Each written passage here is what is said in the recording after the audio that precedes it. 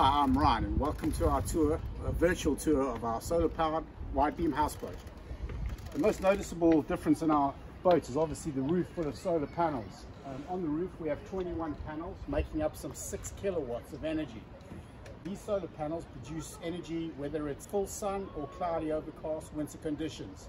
Obviously they're less efficient in winter when the sun angle is low, that's why we have so many of them. We've also recently added another rear panel. This is for some testing to do some uh, heating for winter, but not, not wired up at the moment, just providing some shade. We have some built-in steps into the cabin. These enable easy access to the roof and our small deck area up top. This is our this is our rear seating area. We've got a what's generally called a Euro Cruiser, um, which is a kind of big wraparound seating area. Below, below, me is our electric motors, and in the rear seating area is also the large battery bank, which we'll come back to at the end of the tour. We'll show you how the boat's propelled. Our entrance is a keypad entry system. Just kind of press in the code, and she opens up. We, we went for large glazed doors just because we wanted as much light as, to get into the boat as possible. Kind of come downstairs pretty much like any other boat. Sunflower is slightly wider than a standard wide beam at 13 foot. Um, the reason we did this is because we live on it more than we cruise and the part of the Thames that we're in, we're in um, is very large and doesn't, the locks are huge and we don't really worry about our, our width. The kitchen is a pretty standard Howden's kitchen. The one exception is we've gone with really efficient appliances as much as we could. Um, I mean, it's a normal domestic fridge, but it's a double A rated. Um, we kind of had to weigh up cost versus efficiency, but they're all A or A plus and above. We have an electric oven, so we have no gas on board, which is super convenient. And again, it's all powered by the solar panels. There's a washing machine like you'd have in a normal kitchen. We've even gone and got a dishwasher, which is quite quite nifty for a boat. But uh, yeah, we find it really, really useful. We have a standard sink. We have granite worktops, which we love because they're kind of really hard to stain. Um, our island in the, in the in the middle slightly unusual as well it's movable. It sits on wheels, which yeah they do lock when we're cruising so that they don't, don't go, go around. But it means we can change the space and we can create um, a large open plan if we if we prefer. We went with large, large triple glazed windows just because we wanted as much light and brightness as we could in the boat. And I think that helps to make the boat feel as big as it does. They are larger than normal and they're triple glazed so they don't let out any heat. Um, we also went with triple insulation. So most boat builders kind of just spray on 25 mil spray foam. I, I know from previous experience that that's just not very good. But we went with triple insulation and we'd recommend that on any build. Our heating system, okay. We went with an eco log burner. So yes, it's a traditional log burner that we try to burn eco logs on, so super dry recycled hardwood, which because it's incredibly dry, burns really cleanly and hot. We also store our heat, so the, the log burner has a back boiler on it, which also heats our underfloor heating system, as well as our uh, hot water cylinder. We have a large cylinder, which we'll show you in a minute. This particular boat has a concrete floor, which means it has a thermal mass. So this 18 tons of concrete, which gets heated by our eco log burner, stores heat. So we only have to run the fire for a couple of hours of an evening to heat our hot water for the day and to heat our slab and it stays hot for a long time. We also wanted access to below our slab at some points in case we ever need to inspect. So we've got some nifty little things like we built a little wine cellar which has access to below the slab just to just allow ease of access if we ever need to inspect. Our sofa area, our sofa is a is a modular modular seating area, and you might have seen some of our other videos where this all becomes a dining room space. We have a pop-up table. It's also a double bed if you have more than four guests, which is quite neat, we think. Coming to this is our second bedroom. I'm going to show you. Um, if you go and have a look inside there, it's a full-size double bed. There's storage underneath. Hidden behind here, we also have a cupboard for whoever's using this bedroom. And then this whole bit, this whole cupboard slides forward. And that shows us all our all our control systems for the boat. So in there we have our heat recovery ventilation system, which I'll tell you about. We have our water filtration system for our ra harvested rainwater, which I'll tell you about, as well as our underfloor heating controls. and the hot water cylinder all inside there. So the heat recovery system, which is different from standard boats, standard boats have mushroom vents, which means all the heated warm air in the boat leaves the boat and sucks cold fresh air from different points.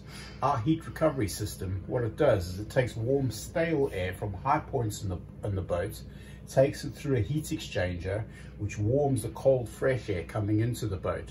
So we still change all our air in the boat every hour, but we recover 75% of that heat. Another reason why we use less fuel and burn less carbon. The water filtration system is to, is to look after our rainwater. So all the rainwater that lands on the roof, we harvest. So we collect it in a tank and then before we use it, it goes through a three, three stage filtration system just to clean it up. We also use it, we have a drinking water tank and we also use a carbon filter to take all the chlorine out of normal, normal water, drink, drinking water. Cool. Next part of the tour is our bathroom. We have a bath, we have a walk-in shower with a toilet and a basin. Um, we ended up not using the bath as much as we thought we would, but uh, it's a nice thing to have. Okay, my favorite part of the tour is our composting toilet. Um, people are struggling to get their heads around this, um, and yes, it takes some tweaking and getting, getting used to it, but what actually happens is it takes Haley and I, the two of us, a month to fill a bucket. When that bucket is full, we put a lid on it and we store it for six months. At the end of that six months, it is completely neutral. It is compost. You can throw it on your veg patch. You can do whatever you like with it. I'll show you how it works. How this system works is called a separated toilet because it separates the urine and the solids. So you lift up the toilet like you would any normal toilet. Um, and there's a separate area for your urine. So gents and ladies both have to sit down just to stop splashing really. And then once you sit down, it opens the rear flap, and that means and that means your solids can go in the back and get stored.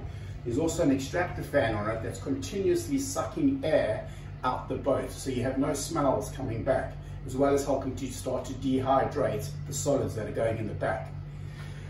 The urine um, is actually going into a tank um, which we can empty out. So we can take that once a week. We can take that tank and pour it on the riverbank. It's it's fertilizer. It's it's pure it's pure nitrates. Or if you wanted, we can have a system where we can just pump it out into the river, depending on what on, on what part of the river and the regulations are. Cool. We love our composting toilet. We know it's not for everyone, but if honestly, if we went back to a house, Haley and I would both have a composting toilet. The water saving is phenomenal. About a third of your normal domestic household water goes straight down the toilet. We don't have that. Cool. I'll through. So this is our main uh, this is our main bedroom. Um, again, it's a full king size bed, probably a bit bigger than normal. It's a lot higher than normal, you probably noticed. The reason for this is we've got a water tank underneath, and that's our harvested rainwater. So um, all the water that collects off, off the roof ends up in here we like we also liked it to be high because we get a view out. Most boats have low have low beds and low furniture, and you end up looking up at windows and not actually seeing the river. We go out the front. Um, again, we have another water tank, which is which is what we use for drinking water. So we fill that with Thames water with a hose pipe, and we just use that for drinking. So our kitchen sink and our basin sink is is from there. There's a nice little seating area out here, and we use the space quite a lot um, yeah, and it just, um, yeah, just a really nice space to use. Um, I want to take you back now and show you all the working parts of the engine and the batteries, which is quite cool. So this is what I think is the coolest part of the boat. So as I was saying earlier, the solar powered means we have electric motors that power the boat rather than a diesel engine. It's a lot neater than a diesel engine. They're smaller, they fit in the space nicely.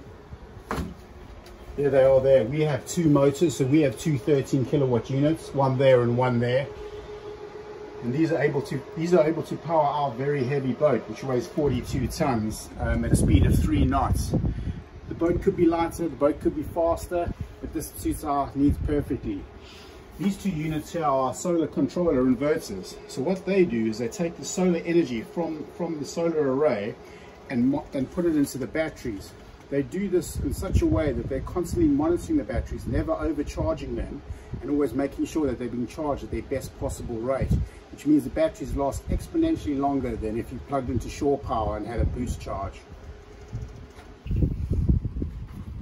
So if we come in here and we lift this rear seating panel, there they are.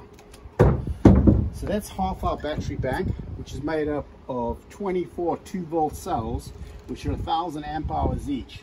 So that 1.2 tons of battery is more than there's more than enough to power this boat. The reason why we have such a large battery when everyone else has small deep cycle batteries is because these cells are rated to life cycles. But if you have a large battery and you only use the top small portion of, the, of their charge, like what, what's our most common use with the solar array, constantly charging them up, they're rated to do 5,000 cycles, so between 10 and 20 years.